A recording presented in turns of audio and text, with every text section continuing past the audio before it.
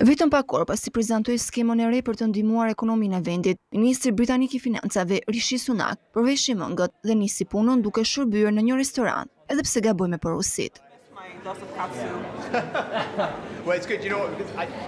Ai synoi të prezantonte planin e ri të quajtur Hani Jashtë për të ndihmuar, një skemë zbritjeje për gjashtëqind e njëzet e pesë milionë paundësh, e cila synon qytetarët që të frekuentojnë restorantet, kafenetë dhe baret e vendit, për t'i ndihmuar pas krizës së shkaktuar nga pandemia. Kjo do të thotë se nëse jeton në Britaninë e Madhe dhe zgjedh të darkosh jashtë në restorant, atëherë do të kesh pesëdhjetë për qind ulje në faturë. Nga e hëna në të mërkurë mund të përfitosh dhjetë paund ulje për person. Zbritja mund të përdoret me kohë të pakufizuar gjatë muajit gusht, në një përpjekje për të inkurajuar njerëzit të darkojnë gjatë të gjithë javës dhe jo vetëm në fundjavë, por zbritja e çmimit nuk do të zbatohet për pijet alkoolike. Ministri parashikon të tjera masa për të ndihmuar ekonominë në vend. Kjo është diçka që unë mendoj se do të bëjë një ndryshim të madh për bizneset, të vogla dhe të mëdha, në të gjithë vendin. Ne nuk mund dhe nuk duhet të vazhdojmë kështu përgjithmonë.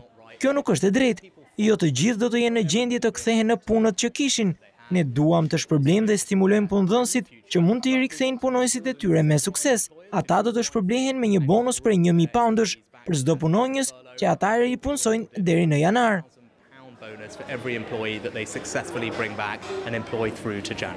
Industria e shërbimeve ushqimore në Britani, e cila punësoi një pikë tetë milionë njerëz para krizës, ka pësuar me mijëra shkurtime të vendeve të punës. Ministri Sunak gjithashtu njoftoi një ulje të përkohshme të taksës së TVSH-së nga njëzet për qind në pesë për qind për produktet të cilat merren nga restorantet dhe kafenetë.